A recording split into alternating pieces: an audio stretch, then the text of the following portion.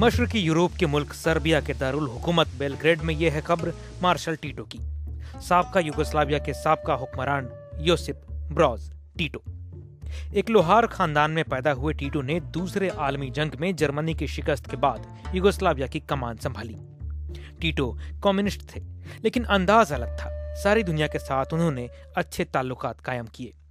Capitalist نظام اور communist نظام کی دنیا میں ایک الگ راستہ، غیر وابستہ تحریک۔ یا نان الائنڈ موومنٹ یا نیم کی بنیاد رکھنے والے سب سے اہم لیڈروں میں شامل تھے ٹیٹو۔ پورے پینتیس سال یوگسلاویا پر راج کرنے والے ٹیٹو کے مقبرے کا ایک نام ہے ہاؤس آف فلاورس ٹیٹو نے اپنی زندگی میں ہی یہ جگہ تیار کروائی تھی۔ وہ اکثر یہاں وقت بتایا کرتے تھے۔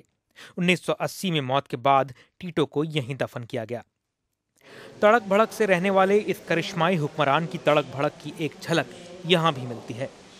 ہاؤس آف فلاورز میں بڑے فخر سے لکھا ہے۔ ٹیٹو کی آخری رسومات میں ایک سو اٹھائیس ملکوں کے حکمران شریک ہوئے جن میں اکتیس صدر تھے چار بادشاہ اور بائیس وزیر اعظم موت کے تیس برس بعد بھی ٹیٹو کا جلوہ قائم ہے۔ This is the second most popular یہ سربیا کا دوسرا سب سے مقبول ٹورسٹ اسپاٹ ہے۔ سب سے مقبول ہے بیلگریڈ قلعہ جس کے بعد اس کا uh, نام we آتا ہے۔ پچھلے سال کوئی uh, اسی ہزار 80,000 ٹورسٹ یہاں آئے اور اگلے سال نیم کی ساٹھویں سالگرہ کو دیکھتے ہوئے اور بھی زیادہ. لوگوں کی آنے next کی امید ہے۔ We do expect more people because of the anniversary. Tito کا مقبرہ ایک میوزیم بھی ہے۔ یہاں ایک کمیونسٹ حکمران کے الگ انداز کی جھلک دکھتی ہے ان بیٹنس میں۔ ٹیٹو نے اپنی زندگی کے دوران ہی اپنی سالگرہ کو یوتھ ڈے کے طور پر منانے کا اعلان کر دیا تھا۔ اس روز سارے ملک میں بچے جوان بیٹنس لے کر دوڑا کرتے تھے اور یہ بیٹنس پھر ٹیٹو کو دیے جاتے تھے۔ دوسرے ممالکوں سے ٹیٹو کو ملے تحائف کو بھی یہاں سجا کر رکھا گیا ہے۔ ٹیٹو کی اس یادگار کو دیکھنے لوگ دور دور سے آتے ہیں۔ I came to Serbia many times. میں سربیا کئی بار آیا ہوں۔ پچھلے سال میں مونٹینیگرو میں تھا جہاں میں ٹیٹو کی جائے پیدائش پر گیا تھا۔ بعد میں میں نے ٹیٹو کے بارے میں کچھ فلمیں دیکھی اور تب مجھے پتا چلا کہ وہ ایک ایسا لیڈر تھا جو یوگوسلاویا کو ایک جٹ رکھنا چاہتا تھا۔ ٹیٹو کے موت کے بعد کی دہائی میں یوگوسلاویا میں سیپریٹسٹ نیشنلزم کی لہر تیز ہوتی گئی اور ملک ٹوٹتا چلا گیا۔ یوگوسلاویا ختم ہو گیا۔ رہ گئے اس کے حصے۔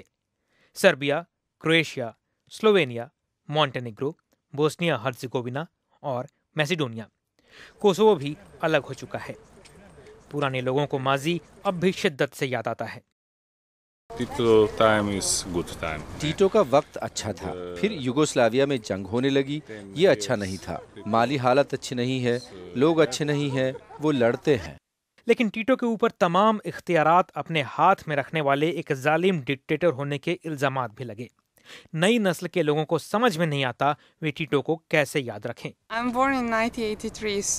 میں انیس سو تراسی میں پیدا ہوئی ہوں۔ ٹیٹو کے مرنے کے بعد تو میرے لیے اس کا کوئی مطلب نہیں ہے۔ مجھے تو سمجھ میں ہی نہیں آتا۔ کچھ لوگوں کے لیے وہ مسیحا کے جیسا ہے تو کچھ لوگ اسے بالکل بھی پسند نہیں کرتے۔ تاریخ کے پنے پلٹ کر صحیح غلط کا پتہ لگایا جا سکتا ہے، لیکن تاریخ کو محسوس کرنا ایک مختلف جذبہ ہے۔ ایسی ہی ایک تاریخ کو محسوس کیا جا سکتا ہے سربیا کے دارالحکومت بیلگریڈ میں اس مقبرے پر۔ Apoorva Krishan, B B C, Belgrade.